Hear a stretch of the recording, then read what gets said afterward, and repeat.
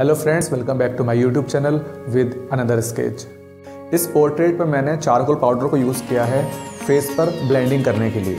आई hope आपको video पसंद आएगी। So friends enjoy the video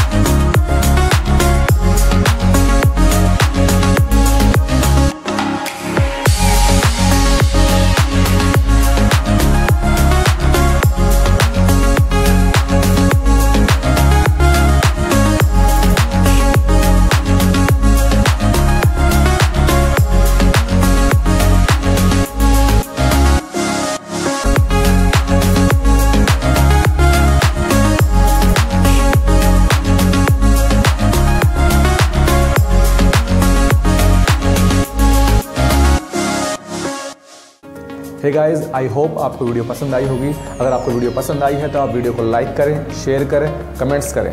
और फ्रेंड्स चैनल को सब्सक्राइब और बेल आइकन को हिट ज़रूर कीजिएगा। Thank you friends